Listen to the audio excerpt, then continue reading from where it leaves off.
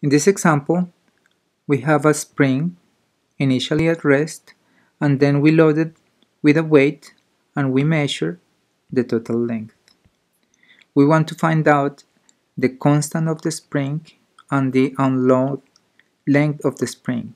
Remember that for a spring, force is equal to the constant of the spring multiplied by delta S, the delta displacements of the spring. Now, this is equal to k and the delta displacements of the spring in this case will be y minus y0.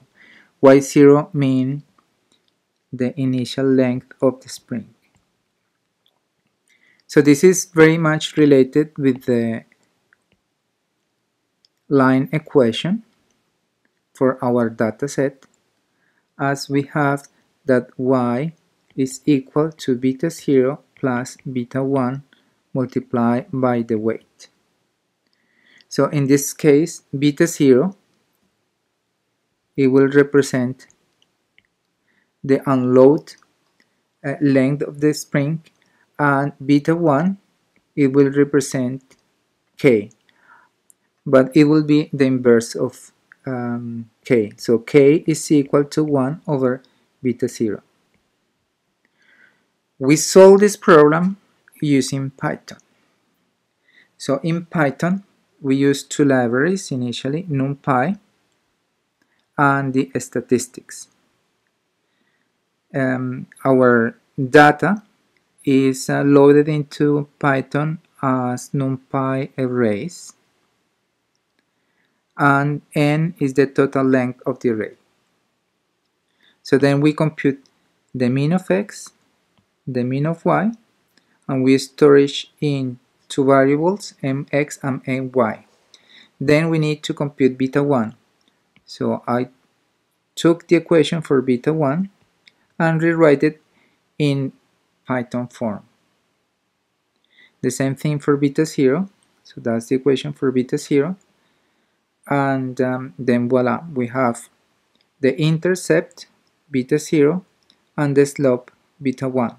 So when we print them, we have that beta 0, the intercept is 4.9997, almost 5, and the slope is 0.246.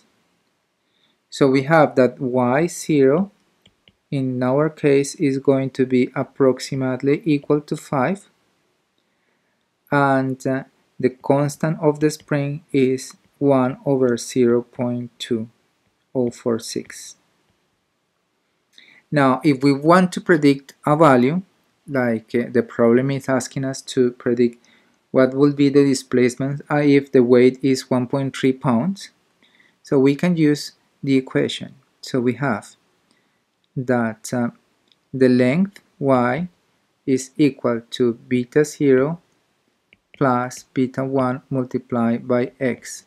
By replacing x equal to 1.3, we have that y is equal to beta 0 4.99 plus b1 which is 0 0.2046 multiplied by 1.3 and that will give us a prediction of the length which in this case is 5.27 inches.